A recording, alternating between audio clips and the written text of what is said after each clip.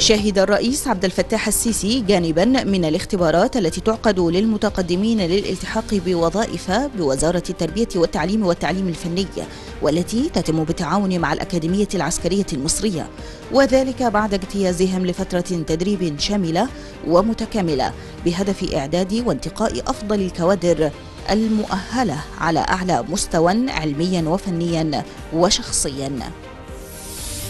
تداولت بعض مواقع التواصل الاجتماعي منشورات تزعم تنفيذ الحكومة حملة شاملة لهدم مقابر أثرية. وقد قام المركز الإعلامي لمجلس الوزراء بالتواصل مع وزارة السياحة والآثار والتي نفت تلك الأنباء مؤكدة أنه لا صحة لتنفيذ الحكومة حملة شاملة لهدم مقابر أثرية.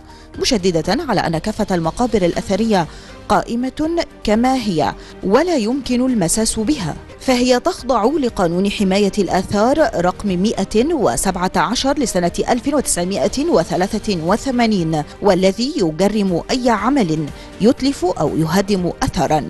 مؤكدا حرص الدولة على الحفاظ على الآثار بكافة أنواعها وأشكالها. ليس فقط للأجيال القادمة ولكن للإنسانية جمعاء.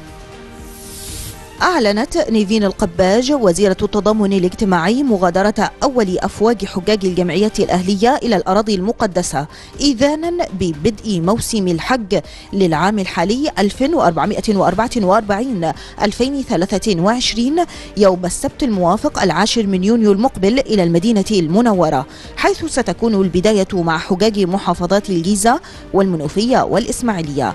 وأضافت القباج أنه عقب ذلك سيتوالى سفر باقي أفواج حجاج الجمعية الأهلية على مراحل حتى يوم الحادي والعشرين من يونيو المقبل حيث يصل آخر الأفواج إلى الأراضي المقدسة. مشيرة إلى أنه تم التنسيق مع شركة مصر للطيران وتجهيز مكتب بمقر وزارة التضامن الاجتماعي لإصدار تذاكر سفر جميع حجاج الجمعيات الأهلية. نفى مستشار بالرئاسة الأوكرانية مشاركة كييف بشكل مباشر في هجوم بطائرة مسيرة على موسكو اليوم الثلاثاء لكنه قال إن بلاده تستمتع بمشاهدة الأمر وتوقع زيادة في الهجمات. وذكرت وزارة الدفاع الروسية إن أوكرانيا استهدفت موسكو بثمان طائرات مسيرة لكن تم إسقاط جميع الطائرات المسيرة المستخدمة في الهجوم.